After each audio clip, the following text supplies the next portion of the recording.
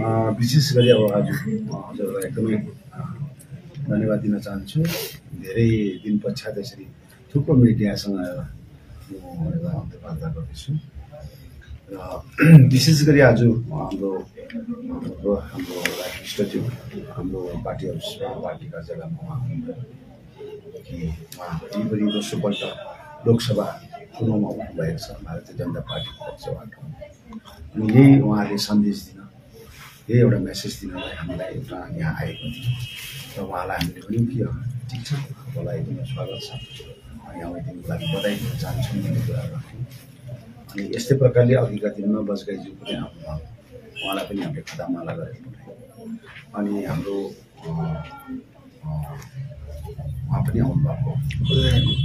अझै पनि आउनुभएको।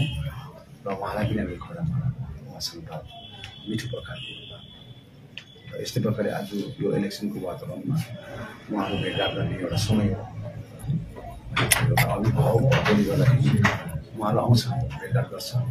तर हामीले कुनै निर्णय लिइहालेको छैनौँ किनभने हाम्रो अब हिजो मात्र मिटिङ भयो। त्यस पश्चात आज हाम्रो भोलि फेरि नौ बजी एउटा हाम्रो मेन कमिटीको मिटिङ हुँदैछ। त्यस पश्चात हामी कुनै एउटा ठोस निर्णय लिन्छौँ भन्ने कुरामा लागि परेका छौँ। तपाईँले सपोर्ट गरेन भन्ने कुरा भन्नुभयो होइन उहाँको विचार त्यसलाई उहाँले अब उहाँले आफ्नो मन्त्री राख्न सक्छ। र हामीले भोलिको दिनमा हामी एउटा मिटिङ हामी इमर्जेन्सी बस्दैछौँ सेन्ट्रल कमिटीको त्यो मिटिङको आधारमा हामी एउटा डिसिजन लिएर त्यस पछाडि हाम्रो एउटा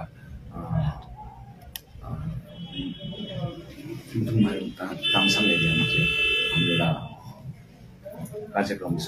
हामी आजको दिनसम्म तपाईँले भाजपालाई सपोर्ट गर्यो भन्ने कुनै र भाजपालाई सपोर्ट गर्ने अनि फाल्टु पार्टीलाई सपोर्ट गर्ने भन्ने कुरो हामीले कसैको गर्ने पनि कुरा गरेको छौँ नगर्ने पनि कुरा गरेको छौँ जस्तै कि तपाईँहरूको फेसबुक पेजमा पेजमा हिजो मात्रै देख्न पाएँ कि तिन तारिक तपाईँहरूले एउटा विराट रेली निकाल्ने सबै ठाउँबाट।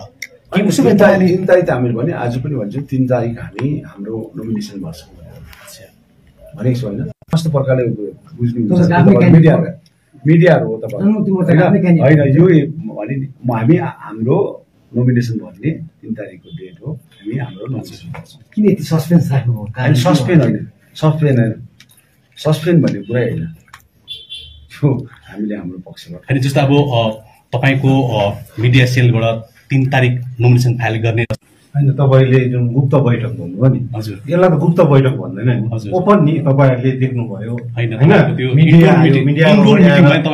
अरे बिजेपीको प्रार्थीले तपाईँहरूको मिडिया हाउसमा बोलिसकेपछि।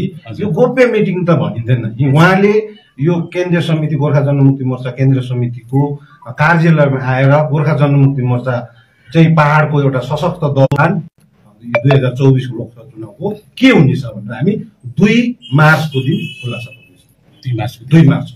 दुई अप्रिलको दिन। दुई अप्रिल। दुई- दुई अप्रिलको दिन।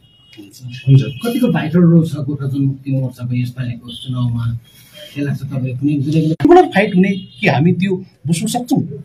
होइन हामीले भने अलरेडी मैले भनिसकेको छु हामी हाम्रो नोमिनेसन गर्छौँ भनेर। हजुर त्यही त। ट्राइङ्गुलर। ट्राइङ्गुलर फाइट हामी त्यो टिएमसी र बिजेपीको सोझो द्वन्द होला हजुर। चुनावमा। हजुर। तर हामी क्षेत्रीयवादलाई बचाउनको निम्ति रिजनलिजमलाई बचाउनको अहिले